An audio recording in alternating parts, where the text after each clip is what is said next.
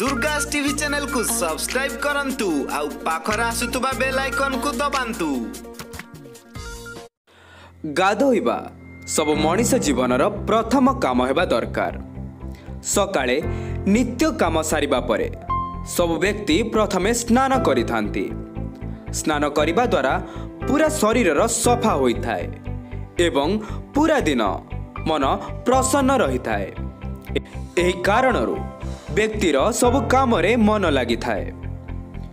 ହିନ୍ଦୁ ଧର୍ମରେ ଶାସ୍ତ୍ରରେ ସବୁ ଜରୁରୀ କାମ ପାଇଁ କିଛି ନା କିଛି ମନ୍ତ୍ର କୁହାଯାଇଛି।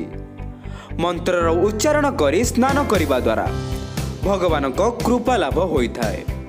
ଏହା କରିବା ଦ୍ୱାରା ଆପଣ ଖରାପ ନଜର ଏବଂ ଦୁର୍ଭାଗ୍ୟ ଠାରୁ ଦୂରେଇ ରହିବେ। ଆପଣ ସ୍ନାନ କରିବା ସମୟରେ ପବିତ୍ର ନଦୀ ଯେମିତି ଗଙ୍ଗା ଯମୁନା ଏବଂ ସରସ୍ୱତୀଙ୍କର ନାମ ଜପ କରିବା ଦ୍ୱାରା ଆପଣଙ୍କ ଘରେ ବସି ପବିତ୍ର ନଦୀ ଗୁଡ଼ିକରେ ସ୍ନାନ କରିବାର ପୁଣ୍ୟ ପାଇପାରିଥାନ୍ତି। ଏହି ମନ୍ତ୍ର ଗୁଡ଼ିକର କହିବା ଦ୍ୱାରା ନକାରାତ୍ମକ ଶକ୍ତିରୁ ବଞ୍ଚିପାରିବେ। ସେଥିପାଇଁ ସବୁ ବ୍ୟକ୍ତି ସ୍ନାନ କରିବା ସମୟରେ ଏହି ମନ୍ତ୍ରର ଜପ କରିବା ଆବଶ୍ୟକ। କେଉଁ ସ୍ନାନ ସବୁଠୁ ଭଲ? ହିନ୍ଦୁ ଧର୍ମଶାସ୍ତ୍ରରେ ବହୁତ ପ୍ରକାର ସ୍ନାନର ବିଷୟରେ କୁହାଯାଇଛି। ଗରୁଡ଼ ପୁରାଣ ଅନୁସାରେ ସମୟ ହିସାବରେ ଚାରି ପ୍ରକାର ସ୍ନାନ ବିଷୟରେ କୁହାଯାଇଛି। ଏହା ବ୍ରହ୍ମ ସ୍ନାନ ଦେବ ସ୍ନାନ ଋଷି ସ୍ନାନ ଏବଂ ଦାନବ ସ୍ନାନ ଅଟେ। ଏହି ସମସ୍ତ ମଧ୍ୟରେ ବ୍ରହ୍ମ ସ୍ନାନ ସବୁଠୁ ପବିତ୍ର ଅଟେ। ବ୍ରହ୍ମ ସ୍ନାନ କାହାକୁ କୁହାଯାଏ? ସକାଳୁ ସକାଳୁ ବ୍ରହ୍ମା ମୁହୂର୍ତ୍ତରେ ଯିଏ ସ୍ନାନ ଭଗବାନଙ୍କୁ ଧ୍ୟାନ କରି କରେ। ତାହା ବ୍ରହ୍ମ ସ୍ନାନ କୁହାଯାଏ। ଏହାର ସମୟ ସକାଳ ଚାରିଟା ପାଞ୍ଚଟା ଆଖପାଖରେ ହୋଇଥାଏ। ଏମିତି ସ୍ନାନ କରିବା ଦ୍ୱାରା ଭଗବାନଙ୍କ ବିଶେଷ କୃପା ମିଳିଥାଏ। ଦେବସ୍ନାନ କାହାକୁ କୁହାଯାଏ?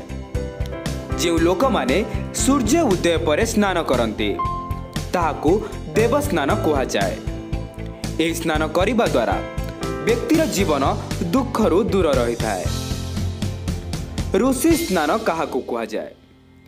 ଯେଉଁ ସମୟରେ ଆକାଶରେ ତାରା ଦେଖାଯାଇଥାଏ ସେହି ସମୟରେ ଯେଉଁ ସ୍ନାନ କରାଯାଏ ତାହାକୁ ଋଷି ସ୍ନାନ କୁହାଯାଏ। ପ୍ରାଚୀନ ଏବଂ ଆଜିକା ସମୟରେ ଋଷି ମହାତ୍ମାମାନେ ଏହି ସମୟରେ ହିଁ ସ୍ନାନ କରିଥାନ୍ତି। ଦାନବ ସ୍ନାନ କାହାକୁ କୁହାଯାଏ? ଆଜିକାଲିକା ସମୟରେ ପ୍ରାୟତଃ ଲୋକମାନେ ସୂର୍ଯ୍ୟ ଉଦୟ ପରେ ଚା ଟିଫିନ୍ କରିବା ପରେ ଆରାମରେ ଗାଧାନ୍ତି।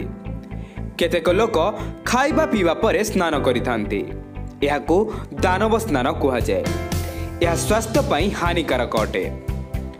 ତେବେ ଆଜିର ଏହି ଛୋଟ ଭିଡ଼ିଓଟି ଯଦି ଆପଣମାନଙ୍କୁ ପସନ୍ଦ ଆସିଥାଏ ଭିଡ଼ିଓଟିକୁ ଲାଇକ୍ କରନ୍ତୁ ସେୟାର କରନ୍ତୁ କମେଣ୍ଟ ସେକ୍ସନରେ ନିଜର ମତାମତ ଲେଖନ୍ତୁ। ଆଉ ଏପରି ନୂଆ ନୂଆ ଭିଡ଼ିଓସ୍ ଦେଖିବା ଲାଗି ଆମ ଚ୍ୟାନେଲକୁ ସବସ୍କ୍ରାଇବ୍ କରି ପାଖରେ ଥିବା ବେଲ୍ ଆଇକନ୍ଟିକୁ ଦବାଇ ଦିଅନ୍ତୁ।